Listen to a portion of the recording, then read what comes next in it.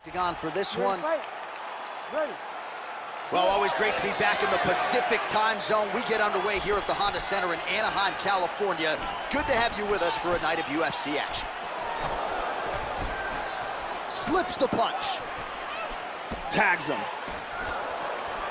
Good defense there. Another shot lands upstairs.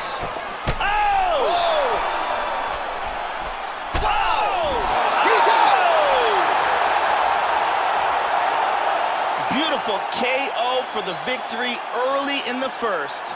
Well, Joe, we've talked a lot about his technique and how technical a striker he is, and that was really the shot heard around the world to get the finish here in the first round. Again, maybe he caught the guy cold a little bit. He didn't have a chance to warm up, but that is a huge result for him here tonight, and on the other side, he didn't take much damage. So, big, big win for him here tonight. Let's see it again. Tremendous force, and that's a wrap.